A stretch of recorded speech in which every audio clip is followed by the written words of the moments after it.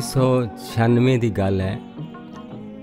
ਹਰਿੰਦਰ ਬੀਸਲਾ ਨੇ ਸਟੂਡੀਓ 7 ਵੱਲੋਂ ਉਪਕਾਰ ਦੀ ਸੁਰੀਲੀ ਤੇ ਰਸੀ ਹੋਈ ਆਵਾਜ਼ ਵਿੱਚ ਇੱਕ ਅਨੂਠੀ ਤੇ ਵਿਲੱਖਣ ਕਿਸਮ ਦੀ ਆਡੀਓ ਕੈਸੇਟ ਰਿਲੀਜ਼ ਕੀਤੀ। ਨਾਮ ਰੱਖਿਆ ਚਾਨਣ ਦੀ ਫੁਲਕਾਰੀ। ਚਾਨਣ ਦੀ ਫੁਲਕਾਰੀ ਵਿੱਚ ਅਮਰਤਾ ਪ੍ਰੀਤਮ, ਪ੍ਰੋਫੈਸਰ ਮੋਹਨ ਸਿੰਘ, ਡਾਕਟਰ ਹਰਭਜਨ ਸਿੰਘ ਬਾਬਾ ਬਲਵੰਤ ਤੇ ਡਾਕਟਰ ਜਸਵੰਤ ਸਿੰਘ ਨੇਕੀ ਹੋਰਾਂ ਦੀਆਂ ਕਾਵ ਰਚਨਾਵਾਂ ਦਾ ਖੂਬਸੂਰਤ ਗਾਇਨ ਸੀ। ਇੱਕ ਰਚਨਾ ਮੇਰੀ ਵੀ ਸ਼ਾਮਲ ਸੀ। ਫਿਰ ਕੈਸਟਾਂ ਦਾ ਯੁੱਗ ਬੀਤ ਗਿਆ।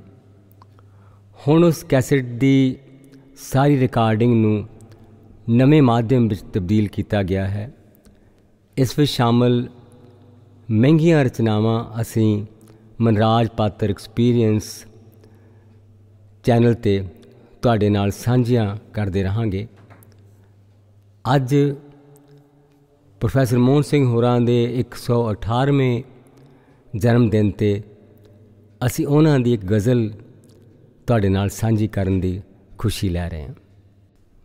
ਪ੍ਰੋਫੈਸਰ ਮੋਹਨ ਸਿੰਘ ਹੋਰਾਂ ਨੂੰ ਅਸੀਂ ਯੁੱਗ ਕਵੀ ਆ ਕੇ ਯਾਦ ਕਰਦੇ ਹਾਂ। ਵਾਕਈ ਉਹਨਾਂ ਨੇ ਇੱਕ ਯੁੱਗ ਜੀਵਿਆ ਬੈਂਤ ਵਿੱਚ ਲਿਖੀਆਂ ਰਚਨਾਵਾਂ ਤੋਂ ਸ਼ੁਰੂ ਕਰਕੇ, ਚਾਰ ਹੰਝੂਆਂ ਤੋਂ ਸ਼ੁਰੂ ਕਰਕੇ ਉਹ ਬੂਹੇ ਤੱਕ ਪਹੁੰਚੇ ਬਹੁਤ ਲੰਮਾ ਸਫ਼ਰ। ਆਪਣੀ ਚੜ੍ਹਦੀ ਜਵਾਨੀ ਵੇਲੇ ਅਸੀਂ ਅਕਸਰ ਇਹ ਗੱਲ ਸੁਣਦੇ ਹੁੰਦੇ ਸੀ ਕਿ ਵਾਰਿਸ ਸ਼ਾਹ ਦੀ ਹੀਰ ਤੋਂ ਬਾਅਦ ਪ੍ਰੋਫੈਸਰ ਮੋਹਨ ਸਿੰਘ ਹੋਰਾਂ ਦੀ ਸਾਵੇ ਪੱਤਰ ਉਹ ਕਿਤਾਬ ਹੈ ਜਿਸ ਨੂੰ ਬਹੁਤ ਜ਼ਿਆਦਾ ਪੜਿਆ ਗਿਆ। ਤੋ ਗਜ਼ਲ ਸਾਂਝੀ ਕਰਨ ਤੋਂ ਪਹਿਲਾਂ ਮੈਂ ਤੁਹਾਡੇ ਨਾਲ ਇੱਕ ਬਹੁਤ ਦਿਲਚਸਪ ਗੱਲ ਪ੍ਰੋਫੈਸਰ ਸਾਹਿਬ ਦੀ ਸਾਂਝੀ ਕਰਨੀ ਚਾਹਣਾ ਕਿ ਇੱਕ ਵਾਰ ਉਹਨਾਂ ਨੂੰ ਕਿਸੇ ਪੱਤਰਕਾਰ ਨੇ ਪੁੱਛਿਆ, ਪ੍ਰੈਸ ਸਾਹਿਬ, ਤੁਹਾਨੂੰ ਸ਼ਾਇਰੀ ਚੋਂ ਕੁਝ ਬਚਦਾ ਵੀ ਆ? ਉਸ ਦਾ ਮਤਲਬ ਸੀ ਕਿ ਤੁਹਾਨੂੰ ਕੋਈ ਪੈਸੇ ਦੇ ਪੱਖੋਂ ਇਸ ਤੋਂ ਕੋਈ ਫਾਇਦਾ ਹੁੰਦਾ। ਤੇ ਪ੍ਰੋਫੈਸਰ ਮੋਹਨ ਸਿੰਘ ਹੱਸ ਪਏ ਤੇ ਉਹ ਕਹਿਣ ਲੱਗੇ, ਮੈਂ ਤੈਨੂੰ ਇੱਕ ਟਾਂਗੇ ਵਾਲੇ ਦੀ ਗੱਲ ਸੁਣਾਉਣਾ। ਕਿ ਇਹੀ ਸਵਾਲ ਕਿਸੇ ਨੇ ਟਾਂਗੇ ਵਾਲੇ ਨੂੰ ਪੁੱਛਿਆ।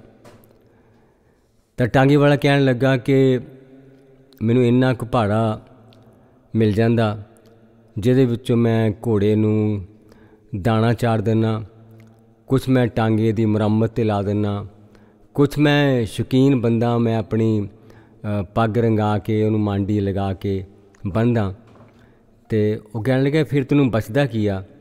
ਤੇ ਟਾਂਗੇ ਵਾਲਾ ਕਹਿਣ ਲੱਗਾ, ਬਚਦੇ ਮੈਨੂੰ ਝੂਟੇ।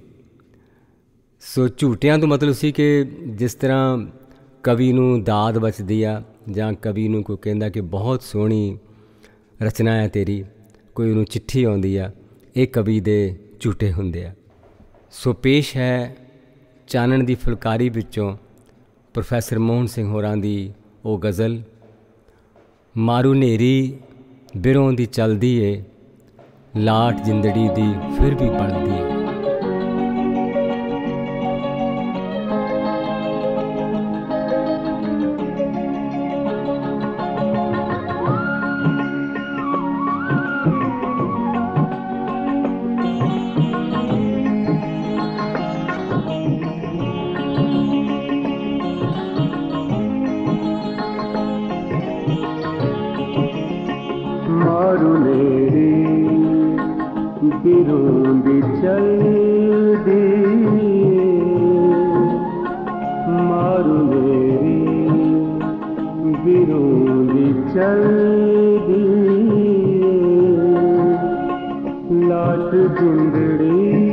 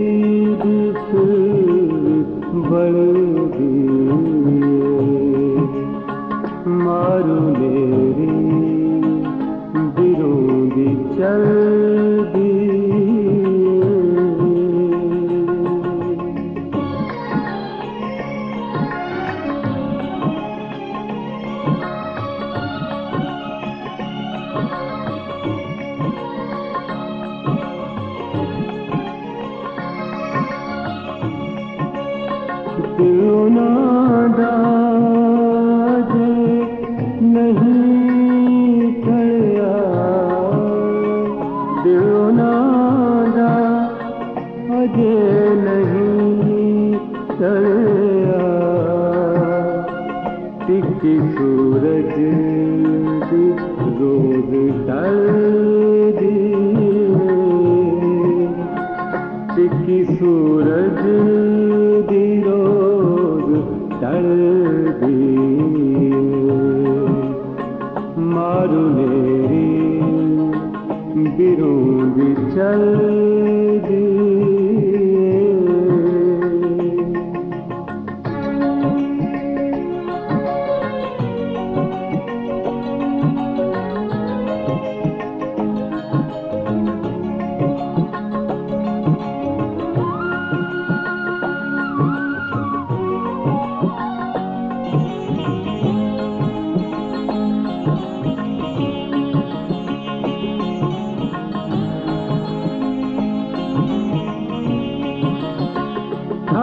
करती ये जिंदगी जीता हक कितनी ये जिंदगी दिखता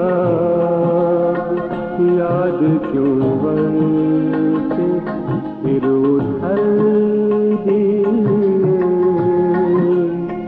याद क्यों बनते कैसे उथल दिए मारू नेरी बिरोंदी चल दिए